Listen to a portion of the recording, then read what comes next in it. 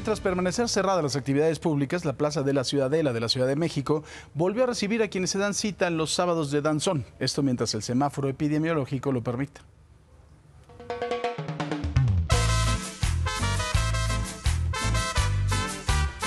Cualquiera que desee aprender el ritmo este, puede venir con toda libertad. Si no sabe bailar, aquí aprende. Danzón, mambo, cha-cha-cha, salsa, cumbia y hasta guaracha son los bailes populares que se practican todos los días en la explanada de la Ciudadela. Mujeres, hombres, jóvenes, adultos y personas de la tercera edad disfrutan de estos ritmos latinos todos los días de la semana, desde las 2 de la tarde hasta las 9 de la noche, en la Plaza de la Ciudadela en el centro de la Ciudad de México. Importa que sean principiantes, intermedios o experimentados, hay quienes prefieren la salsa, otros la guaracha o el danzón. Pues estoy practicando apenas, yo todavía estoy iniciando, apenas tengo tres meses en esto. Es cuestión de constancia. ¿Y qué ritmos bailas? Eh, de momento solamente cumbia, eh, guaracha y cumbia costeña.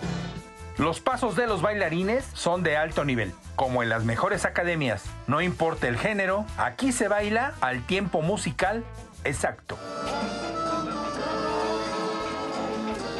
Algunas clases son gratuitas, algunas con aportaciones voluntarias y otras el costo es entre 20 y 30 pesos, dicen ellos, para el mantenimiento de las bocinas.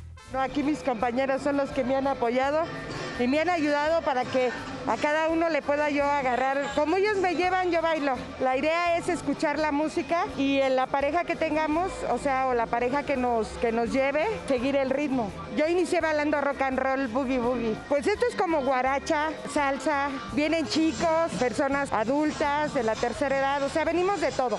En el año 2020 y ante la pandemia, esta plaza permaneció cerrada a los bailarines por algunos meses.